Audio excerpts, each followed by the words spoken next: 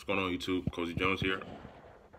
And I just want to quickly shed light on this whole NFL brawl situation that happened two days ago. Or two nights ago, I should say. And I just have a question for all those people who are calling into question why Mason Rudolph, Randolph, wasn't suspended as well. And my question is, what did he do that would warrant a suspension? Because a lot of people, are, you know, are just talking. They're saying that he probably said something to him. Uh, you know, he probably called him the N word. He probably said something about his mom or whatever. That's all hearsay. You don't know that. To, you know, you don't. You don't know that. To, you know for sure.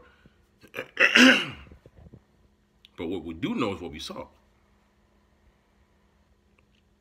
Myles Garrett, mind you, and I think him being suspended the way he was suspended indefinitely had a lot to do with his history. He has a history. He has a laundry list of illegal hits and late hits on you know opposing players. He has he this is this is him. I don't see no difference between him and Albert Haynesworth. I don't see any difference between him and uh, you know and Ndamukong Suh. I don't see any difference between him, Myles Garrett, and um Vontaze Burfict. I don't.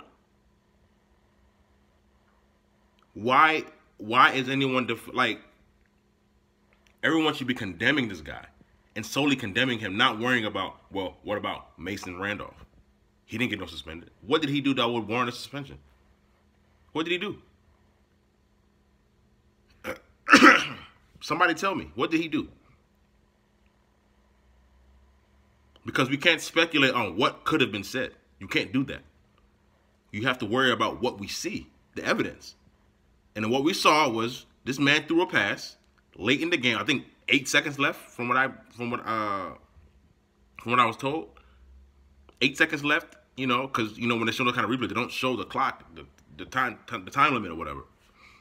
And you see Myles Garrett come and tackle this man, and you know, clearly forces him to the ground, tries to drive him into the ground deliberately.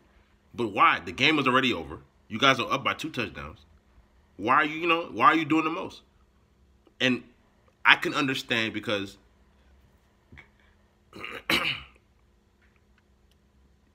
it's it's like it's like when a team is doing like in the two minute drill.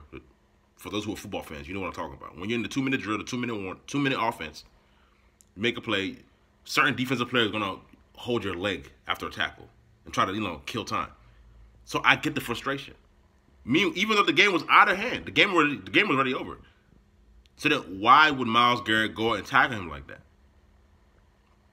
So the court, the young quarterback, he probably felt like he was being bullied or you know messed with you know, and he had a sorry game, like he had a poor game. So he was probably embarrassed. You know, just wanted just wanted to stand up for himself. People were saying, "Oh, he grabbed Myles Garrett's helmet too." Yeah, he grabbed his helmet. People's helmets get grabbed all the time. That's a 15 yard penalty. That's a that's a fat face mask, right? But what Myles Garrett did, not only did he grab his face mask, he took his entire helmet off, the quarterback, and then swung at his head. He could have killed this man.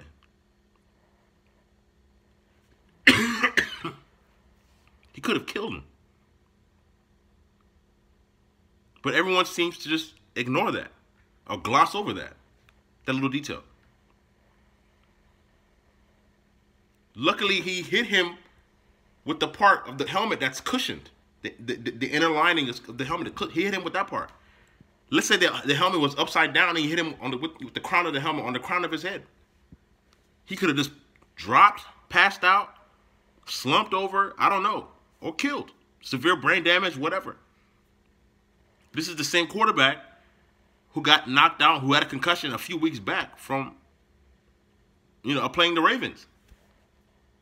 Earl Thomas, if I'm not believe, if I'm not mistaken, knocked him out.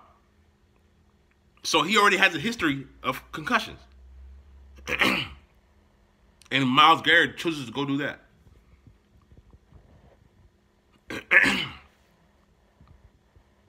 Come on, folks. And and I haven't heard, I, well, I haven't seen it yet, but I, I'm just hoping no one trying to make this a race thing. I hope this is not a racial thing.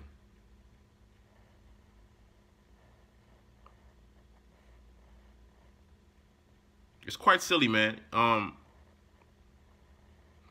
I don't know, man. That's but that's my two cents, man. I, I he, Mason Randolph, I think that's his name. It's Rudolph or Randolph, whatever. He did nothing that would warrant a suspension. So I don't even know why people are calling for suspension. I don't know why. Even his offensive lineman, the guy Pouncey, I believe, that kicked Myles Garrett was on the ground. I don't condone that either, but it's understandable. You hit his teammate with a helmet, so I get it, but I don't. I don't condone it. I mean, well, that's my two cents on that. Um, I'm glad he got an indefinite suspension. Rightfully so. He deserves it. And I hope it bleeds over into next season. I'm out.